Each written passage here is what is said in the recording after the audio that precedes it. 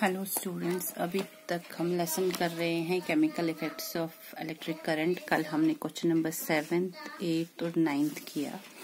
आज हम करेंगे question number tenth question number tenth क्या है? Paheli had heard that rain water is good as distilled Paheli ने सुना था कि जो रेन वाटर है वो इतना ही अच्छा है जितना कि distilled water. So she collected some rain water in a clean glass tumbler तो इसने क्या किया?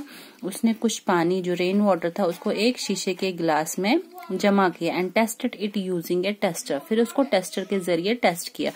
To her surprise he she found that compass needle show deflection फिर उसने क्या देखा? जो कंपास नीडल है deflection what was the reason इसका क्या आंसर है? इसका आंसर ये है, क्योंकि जो रेन वाटर होता है, उसमें डिजॉल्व साल्ट्स होते हैं। जब डिजॉल्व साल्ट्स में प्रेजेंट है तो वो क्या करेंगे? That that so it makes it a conducting solution तो अगर इसमें ये साल्ट्स है, वो उसको कंडक्टिंग सोल्यूशन बताता है।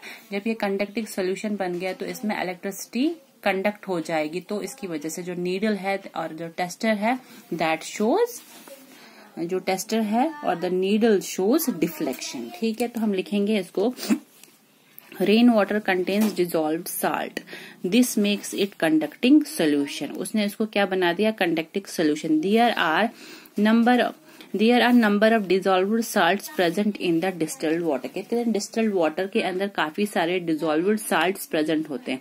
Hence rain water can allow electricity to pass through तो इसकी वजह से इलेक्ट्रिसिटी उसमें पास थ्रू हो जाएगी if while distilled water can not जबकि डिस्टल्ड वाटर ये सब नहीं कर सकता है। तो इसी की वजह से कंपास नीडल ने क्या शो किया? डिफ्लेक्शन क्यों? क्योंकि जो रेन वाटर है, उसमें डिजोल्व साल्ट प्रेजेंट होते हैं। डिजोल्व साल्ट की वजह से वो एक कंडक्टिंग सोल्यूशन बनेगा और जिसकी वजह से इसमें इलेक्ट्रिसिटी फ्लो हो जाएगी। इलेक्ट्रिसिटी एलो हो जाएगी।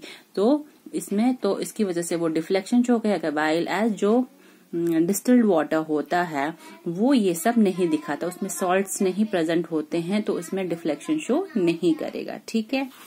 अब है क्वेश्चन नंबर हमारा eleventh prepare a list of objects around you that are electroplating electroplating means a depositing a layer of any desired metal और अनदर मेटेरियल ठीक है? What is uh, electroplating the process of depositing a layer of any desired material on another material by means of electricity is known as electroplating अब कुछ examples हमें देनी है chromium plating is done on different parts of car कहते chromium की plating की जाती है डिफरेंट पार्ट्स कार के हिस्से में बसेस में motorcycle to give them shiny appearance shiny appearance के लिए क्रोमियम की प्लेटिंग की जाती है गाड़ियों में किसके वजह से, किसके लिए? शाइनी अपियरेंस के लिए। किसमें कार्स में बसेस में मोटरसाइकिल्स में क्रोमियम की प्लेटिंग की जाती है।